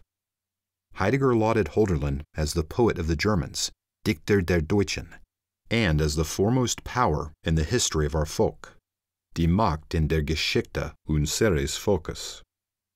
Although Heidegger began these lectures six months after his resignation as Freiburg University rector, his effusive praise for the Volksbegriff indicates that his ideological ardor remained keen. However, in an attempt to downplay Heidegger's commitment to Nazism, the abbreviation capital N period SOZ period, which Heidegger had unambiguously employed as shorthand for Nationalsozialismus, was misleadingly transcribed as Naturwissenschaft, natural science. The marked ideological tenor of the lecture course made the mistaken rendering even more preposterous. As a result, suspicions arose that the textual manipulation of the Hölderlin lecture course was part of a more general plan to camouflage Heidegger's Nazi past. Writing in Die Zeit, Adam Soboczynski reasonably inquired whether the growing list of editorial omissions and falsifications was merely the tip of the iceberg, hence, part of a systematic effort on the part of Heidegger's literary executors to whitewash his Nazi sympathies.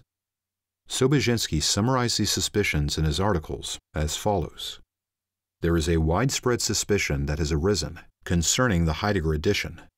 One, that to judge by international research has become the basis for numerous essays and book publications. Has there been an attempt to present a version of Heidegger's philosophy that has been purged of references to National Socialist doctrine? are the errors that have surfaced with respect to the last hand edition begun in 1975 merely the tip of the iceberg? Rewording the past. However, not only did Heidegger and his editors consistently suppress pro Nazi avowals and claims. As it turns out, following the war, Heidegger fabricated and rewrote entire passages, inserting them in earlier texts in order to promote the myth that during the 1930s he had acted heroically as an intellectual and political dissident. To enhance the masquerade, Heidegger passed over these later alterations in stony silence. Instead, he misleadingly sought to pass off the rewritten texts as faithful versions of earlier manuscripts. The most egregious case of such editorial deceit concerns Heidegger's 1938 lecture, The Age of the World Picture, which was first published in Holzwege in 1950. In the secondary literature on Heidegger, the age of the world picture has been regarded as an important milestone in his maturation as a critic of modern technology. In addition, following its publication in Holzwege, the essay became a central pillar of the legend of Heidegger as a spiritual Widerstandskämpfer, resistance fighter, corroborating Heidegger's claim in the Rectorship Facts and Thoughts 1945 that during the 1930s his lecture courses had become sites of philosophical resistance. In the age of the world picture, the evidence attesting to Heidegger's status as a resistant was based on the last of the essay's nine Zusätze, or appendices. In Appendix 9, Heidegger elaborated his by now familiar critique of the philosophical subject. Heidegger employed this critique to browbeat the failings of Western metaphysics. However, what is novel about this iteration of Heidegger's critique is that he applied it obliquely to the legacy of National Socialism. According to Heidegger, the human being as the rational being of the Enlightenment period is no less a subject than the human being who grasps himself as a nation, wills himself as a folk, breeds himself as a race, and finally empowers himself as Lord of the earth. In the planetary imperialism of the technically organized human beings, the subjectivism of human beings reaches its highest point, from which it will descend to the flatness of organized uniformity and establish itself there. This uniformity becomes the instrument of total, namely technological dominion over the earth. In and of itself, that is, even were one for the sake of argument to suspend judgment about the editorial deception that resulted in its inclusion, the reasoning that informs this passage is deeply problematic to suggest that the understanding of subjectivity that informs the rational human being of the Enlightenment and the Nazi conception of the human being as a folk who breeds himself as a race are in essence one and the same is to posit an unacceptable moral and political equivalence. Here, it is important to point out, especially in light of the profound influence that Heidegger's Vernunftkritik, Critique of Reason, has had among representatives of the academic and cultural left, that they are not at all the same. The Enlightenment standpoint, with its respect for droit de l'homme, limited government, constitutionalism, and popular sovereignty, represents an indispensable antidote and counterweight to the totalitarian temptation of which Heidegger was so enamored. Heidegger's myopic equation of the rational human being of the Enlightenment with the excesses of Nazi race thinking foreshadowed his equally disturbing assertion in the Bremen Lectures on the Evils of Modern Technology, 1949, that mechanized agriculture is, in essence, the same as the fabrication of corpses in gas chambers and extermination camps, a claim that belies the canard concerning Heidegger's silence with respect to the Holocaust. In the present context, it is worth noting that in yet another instance of editorial sleight of hand, the preceding passage from Heidegger's Bremen Lectures was omitted from the original publication of the Question Concerning Technology in Vorträge und Aufsätze, 1954. In Work and Weltanschauung, the Heidegger controversy from a German perspective, Habermas called attention to Heidegger's dishonesty after the war. Instead of acknowledging the extermination of the European Jews, Heidegger, in the Letter on Humanism 1947, trained his sights on the transgressions of Western humanism, thereby insinuating that reason, subjectivity, and metaphysics were ultimately responsible for the Endlösung. According to Habermas, Heidegger's efforts to shift the blame for the European catastrophe from the deformations of German historical development to Western ideals, represented a continuation of the German right's ideological assault on the ideas of 1789. Heidegger dealt with the theme of humanism at a time when the images of the horror that the arriving Allies encountered in Auschwitz and elsewhere had made their way into the smallest German village. If his talk of an essential event, wesentliches Ereignis, had any meaning at all, the singular event of the annihilation of the Jews would have drawn his attention. Instead, he directed himself against the humanistic interpretations of man as animal rational, as person, because the highest determinations of the essence of man in humanism do not realize the proper dignity of man. Heidegger's persistent efforts to establish a misleading moral equivalence between the Enlightenment and National Socialism were part of a deliberate campaign on his part to minimize Nazi criminality by portraying modern technology, technique, along with its Western cultural origins, as the more fundamental and essential culprit. His revisionist view of the German catastrophe insinuated that National Socialism's depredations were primarily, even exclusively, the result of Western cultural and intellectual influences. Humanism, Cartesian subjectivity, and technics. An important clue concerning the ideological valences of Heidegger's Descartes critique emerged in a passage from The Fundamental Question of Philosophy, 1933 to 1934, in which Heidegger disparaged the teaching of Descartes at German universities as a form of spiritual depravity, Geistigen Verlotterung. Conversely, his Spenglerian technology narrative left the developmental deformities of the German Sonderweg, with its inflated veneration of the Volksbegriff, entirely out of account. It misleadingly suggested that, as Heidegger continued to believe, Germanic Dasein remained the key to Europe's cultural and spiritual renewal. In his view, everything depended on Germany's ability, as the most metaphysical of nations, to rebuff deleterious Western influences. As Adorno once observed, Germans are human beings who can't tell a lie without believing it themselves. For decades, Heidegger scholars have cited his critical observations about folk and race and the age of the world picture as concrete proof that during the 1930s, Heidegger staunchly opposed National Socialist Rassenpolitik. Moreover, the remarks contained in Appendix 9 seem to corroborate Heidegger's claim that, to the detriment of his own safety, he practiced spiritual resistance to Nazism, a situation that resulted in his lectures being monitored by the Gestapo. Recently, however, this pretense on Heidegger's part has been discredited by Lutz Hachmeister.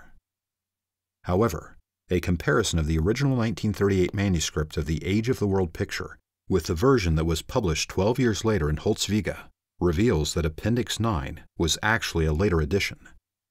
Heidegger had written this paragraph after the war, as a part of a campaign to rehabilitate his reputation. Yet, when Holzwege was published in 1950, Heidegger deceptively sought to pass it off as part of the original lecture course, thereby providing a pseudo evidentiary basis for the myth that he had actively opposed the regime. In order to consummate the deceit, in the 1950 edition of Holzwege, Heidegger appended a prefatory note to the Age of the World picture, claiming that the appendices were written at the same time but not delivered. In rewording the past, the post-war publication of a 1938 lecture by Martin Heidegger, Sidonie Kellerer adjudged Heidegger's assertion a decisive falsification. As Kellerer explains, there is a striking discrepancy between the original manuscript of 1938 and the published version of 1950. The last and longest of all the nine appendices, Zusätze, included in Holzwege after the main text, is absent in the original manuscript. Its insertion into Holzwege is crucial. It is in fact a decisive falsification, because only here and nowhere else in the text is there an explicit political distancing from Nazism. In all earlier writings, Heidegger applied the label subject, his characterization of those who lost their deeper roots of existence, to the adherents of the Enlightenment.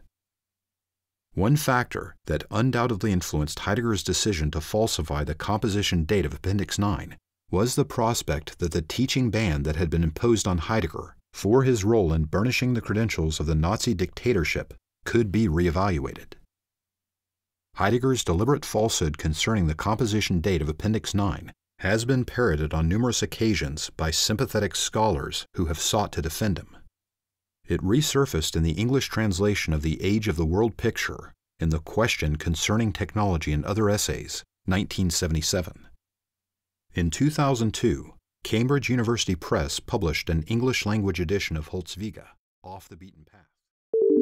We hope you enjoyed this preview. To continue listening to this audiobook on Google Play Books, use the link in the video description.